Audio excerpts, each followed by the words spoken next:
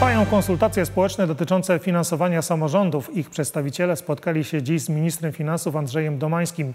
Ministerstwo Finansów ma opracować nowe rozwiązania dotyczące współpracy z jednostkami samorządu terytorialnego. Chodzi o to, by finanse samorządów były jak najmniej powiązane z decyzjami zapadającymi w Warszawie.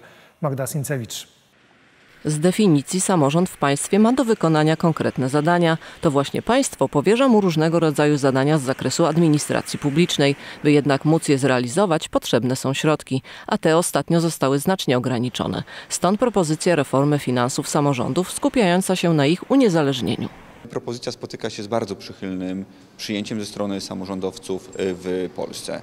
Także jestem tutaj właśnie po to, aby dalej rozmawiać o tych propozycjach i aby szukać e, najlepszego, ostatecznego, takiego finalnego, e, finalnego e, rozwiązania. Oczywiście te głosy są często odmienne, natomiast raczej tutaj ten konsensus zmierza w stronę właśnie tego systemu, który zaproponowaliśmy, czyli uniezależnienia finansów samorządów od decyzji zapadających w Warszawie, zwiększenia przewidywalności finansów samorządów, no co ułatwi oczywiście planowanie. A na to, by móc planować i przede wszystkim realizować te plany, czekają nie tylko przedstawiciele samorządów, ale także mieszkańcy.